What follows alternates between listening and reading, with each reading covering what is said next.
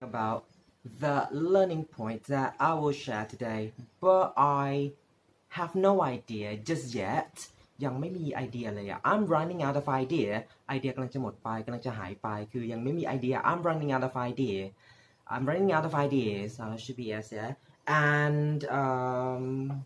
well I really don't know it's actually just the thing is that my brain doesn't work properly my brain or my thought or my thinking